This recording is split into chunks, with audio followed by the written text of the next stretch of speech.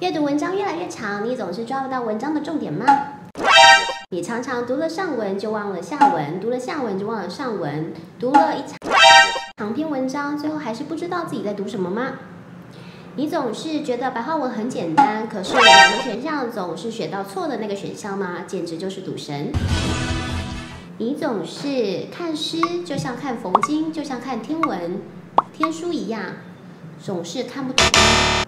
文言文从国一学到国三，永远拿到一篇新的文章，还是永远看不懂啊？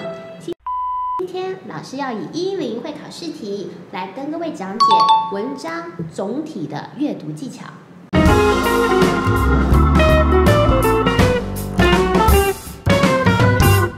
Hello，大家好，我是陈丽老师。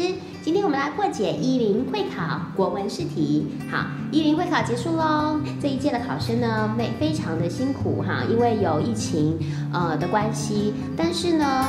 好不容易考完了，大家呢在家里呢，除了耍废之外呢，也要记得哦，停课不停学。好，那虽然呢已经考完了，我们还是要好好的检讨，毕竟还有高中国文哈，各位出来混还是要还的哦哈。那现在呢，我们呢来稍稍的，我们来进入今天我们会考试题的第一部分讲解。老师要教各位呢，我们要举一题今年的试题，再举一题去年的试题，让大家看看哈，如果能够学会掌握文章的主旨句型，对于你。国中的国文，甚至是高中的国文，都有很大的帮助。好，现在呢，我们直接不啰嗦，进入考题，请各位现在看会考今年会考试题的三十六题。哈，三十六题这篇文章是作家徐梦芳的文章，是直述。哈，文章看起来是一个中长文，三十五到三十六题的题组题。好，那大家呢可以看一下荧幕上呢，我们会把这篇文章列出来。哈，请来看一下这篇文章。好，这篇文章呢。呃，是大概中长文的结构哈。那其实呢，很多同学呢看到文章只要太长，他就会看不懂题目在写什么。不要害怕，无论是文言文还是白话文，它还是有一个通则的。那所谓的通则就是呢，请各位记得哦哈。其实国文或者文学或者是资讯的接收呢，它一定会有一些原则。那无论是国文还是英文，其实都是一样的哈。就像我们进入一个班级哈，请问大家是班上所有的人，你都要花同样的心力去认是跟深入交往吗？当然不是啊哈。我们应该要先花一些简略的时间、粗略的时间，跟所有的人进行一个比较浅层跟粗略的了解。然后呢，我们就慢慢知道哪一个人是我最喜欢的。我值得花更多时间跟他深入交往的，所以也就是说，阅读实际上会分成两大步骤。第一步骤叫做速读，速读是帮我们快速筛选资讯的重要程度。好，那就像我们进入一个班级之后呢，先快速的了解哪一个人是我值得深入交往的人。哈，所以呢，速读基本上是要帮各位同学好去学会筛选资讯的重要程度的。接下来第二步，好，当你学会啊筛选资讯重要程度，就能选出最重要的资讯喽。那选出最重要资讯要。接下来下一步就是第二步，就是资讯的深度能力。那现在呢，老师要借由一一零零年的三十五跟三十六题，跟各位解释啊速读的原则是什么。那等一下呢，我们接到第二步骤就会告诉同学，当我们已经抓到速读啊，透过速读抓到一篇文章的最重要的资讯之后，我们怎么样能够进行文章的深读？哈，那要先跟各位同学说哈，因为呢，这只是一个简单的示范，那让各位同学可以能。够稍稍的了解，如果各位同学想要知道更深入的一零年的会考试题的讲解，哈，可以点选我们下方资讯栏，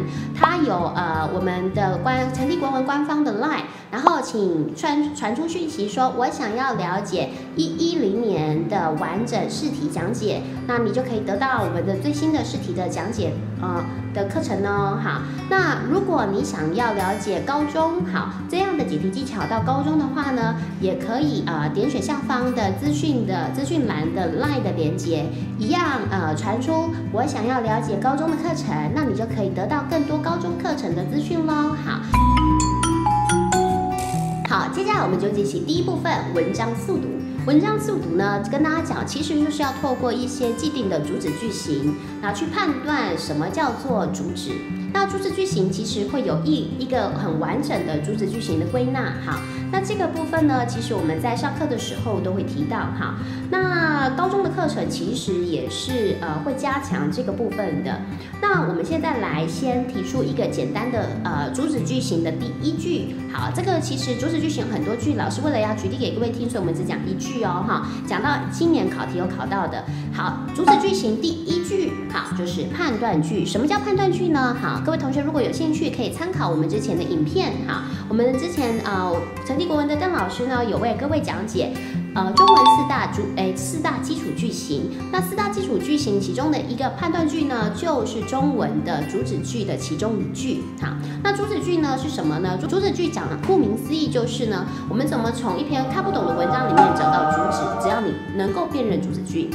主旨句讲的，顾名思义讲的简单一点，就是怎么从很长的文章里面呢，快速找到主旨所在，透过主旨句的辨认。主旨句的其中一句就是判断句，判断句的形态长怎样呢？哈，叫做什么什么是什么？哈，那个是就是表示一个判断，这是主旨句的白话文样态之一。好，那我们来讲一下，它在文言文里面最常出现的样态叫做 A 者 B 也。好，举个例，高中课文文言文第一课。师说：“师者，所以传道授业解惑也。好，老师是用来传道授业解惑的人。好，是，所以文言文的主旨句的判断句叫做 A 者 B 也。好，那我们现在就要来用主旨句简单解题。好，请各位现在来看一下三十五到三十六题这篇文章。好，这篇文章呢，请各位看一下最后一句话，他说，倒数第二行。”能与自自身紧紧相系的，原来正是写作。请各位把正是画起来，哈，是本身已经判断句了，这个正的加强语气，哈，所以这句话是全文里面最最重要的判断句。那判断句又是主旨句。那我们现在来看一下，是前面的词汇叫做自身连结，哈，后面叫做写作。也就是说，这篇文章它谈两个主题的关联性，一个叫做自身，一个叫做写作，它的两者，哈，要谈的就是这个，好。往下看，请各位现在看三十六题。根据本文，下列何者最符合作者观点？好，这是主旨题哦。你们看到主旨题哈？那所以我们先来看 A 选项，孤独是一种救赎。孤独救赎是切开两个主题哦，跟刚刚我们要谈的自我自身，然后跟写作好像一点关联都没有，删掉。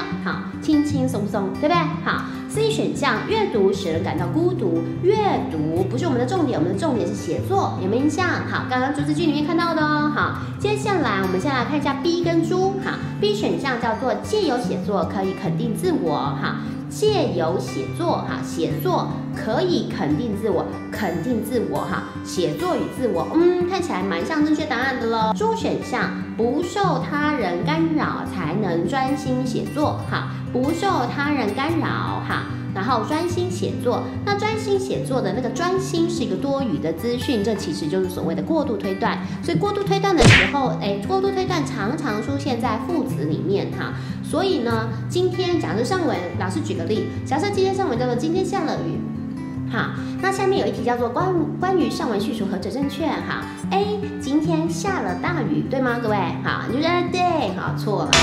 为什么是错的呢？因为它多了一个字，好，就是大雨的大，好，它过度修饰，没错。所以请各位同学要注意哦，哈，当文章里面它提了某个事件，可是关于这个事件它多了程度、范围，好。等等的一些过度的修饰，它对于这个呃呃，他要谈论的这个东西进行了一个过度的限定，这个基本上就会是错误的，好，所以也就是说这题答案选 B，好，既有写作，我们可以肯定自我，好，那就呼应了上方的主旨句，主旨句叫做能与自身相相相相紧紧相系的，原来正是写作，所以人可以透过写作去认识自己，跟自己更为靠近，好，那这是这篇文章最要谈的主旨。